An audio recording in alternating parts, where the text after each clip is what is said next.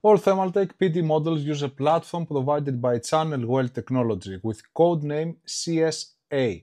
All are Cybenetics Platinum certified in efficiency and they also have an ATX version 3.1 compliance from the same certifications agency. Wanna get a Windows 11 or Microsoft Office license and you don't want to pay a premium? Go to Keysfan and select what suits your needs better.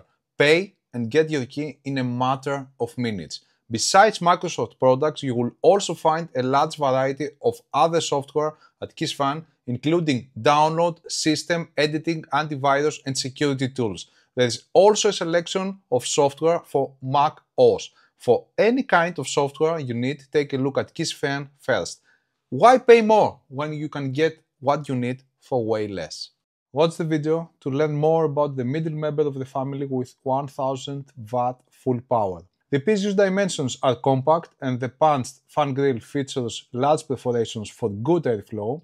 This is a nice design feature because the compact PCB and the unit's increased max power require good airflow. On the unit's front, you will find the AC receptacle and the power switch the modular panel has 12 sockets including one native 12V 2x6 header. The cables are long enough except for the 8X1, which ideally should be 600mm long or even longer.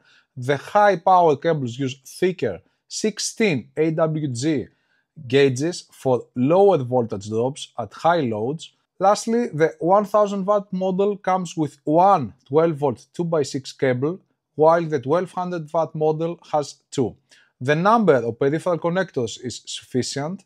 There is no need anymore for more SATA or 4-pin Molex connectors since most mainboards can take two or more NVMe drives, and the distance between the peripheral connectors is adequate. This is the same platform used in the PT 1200 model with some component changes due to the lower maximum power output, CWT provides the platform featuring a contemporary design with a full bit topology on the primary side and an LLC resonant converter for reduced energy losses.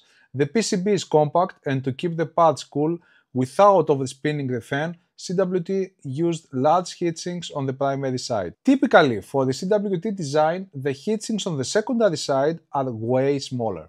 Basically, the secondary side heatsink is a plate surrounding three sides of the main transformer, providing cooling and acting as a common mode EMI shield.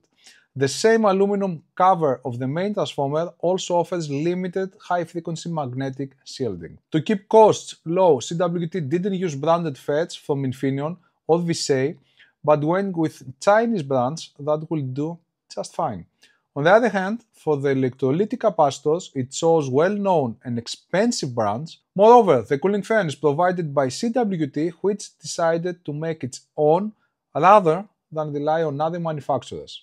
This is a wise move. Load regulation is within 1% uh, on all primary rails, even 3.3 volt. In my 1200 watt sample, the 3.3 volt rail had loose load regulation. Ripple suppression is good overall. The transient response with normal loads is good at 12 volt, decent at 5 volt, and mediocre at 3.3 volt, where the voltage level drops below 3.2 volt. That said, it remains above the low limit set by the ATX spec of 3.14 volt, unlike the 1200 watt model which failed in this test. The 12 volt rail's performance is slightly below the average in this test. The hold-up time is lower than 17 milliseconds, still above the 12 millisecond period that the ATX version 3.1 spec defines. I disagree with the looser hold-up time spec of the ATX version 3.1 spec. The average efficiency meets the Cybenetics Platinum criteria. The ePFC converter works well even at 230 volt, which is usually the weak point of most platforms. Vampire power is low, similar to the 1200 watt model, the OCP and OPP triggering points are correctly set on all rails, the OCP triggering point differences on this PSU's minor rails are low between normal and high temperatures, but they are highly conservative, so I don't mind the slight differences. The remaining essential protection features are present and function well, except for fan failure protection, which is not implemented. Manufacturers must quickly realize that fan failure protection is crucial and begin implementing it in their designs. The PSU's EMI emissions are under control. The PSU's average noise output is among the lowest in the 1000 watt category. The fans close to 400 RPM of aeration last for a long time when the combined load of the minor rails remains below 85 watt. With more than 700 watt at 12 volt, the noise exceeds 20 decibels, then drops below that for the short operational period to 15 to 20 decibels before rising again at around 920 watt at 12 volt above 25 decibels. All in all, the fan speed profile is highly relaxed. The PT model's overall performance is decent but not highly competitive. The Thermaltake PT1000 scores higher in its category than its 1200 watt sibling. Moreover, I noticed that in the 1000 watt model the 3.3 volt rail performed much better than in the 1200 watt model, boosting the PSU's overall performance a bit. Additionally, the 12 volt rail's performance was better in the high load transient response test because the peak load was 2000 watt, whereas in the flagship unit it was 400 watt higher.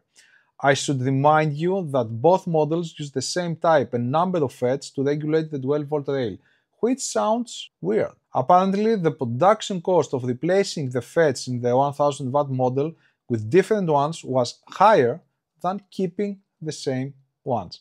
The 3.3 volt rail transient performance remains mediocre, but at least the 1000 watt model didn't fail in these tests I conducted with normal loads, unlike the 1200 watt unit. On the other hand, CWT used lower capacity bulk caps on the 1000 watt platform limiting hold-up time to below 17 milliseconds. Although it still meets the ATX version 3.1 specs corresponding requirement, I still want to see a hold-up time exceeding 17 milliseconds. Additionally, ripple suppression is good, vampire power is dead low, and the platform's efficiency across all load ranges is high enough. After all, this is a Platinum certified unit in the strict cybernetic scale. Finally, a great advantage of the Thermaltake PT1000 is the fact that it is among the quietest PSUs in the 1000 watt category. I left the protection features for last, which are correctly set in this unit, although the differences between normal and high temperatures in the OCP triggering points of the minor rails are small, they remain highly conservative so that I won't mark this as a con. I don't often evaluate PSUs with properly tuned protection features, and this is one of the reasons I will recommend this unit. All in all, the Thermaltake PT1000 offers decent overall performance and its protection features are correctly configured, which is a significant asset. If only it also had fan failure protection, which is nowhere to be found in most desktop PSUs. That's all guys. Like and subscribe please and till the next video. Bye bye.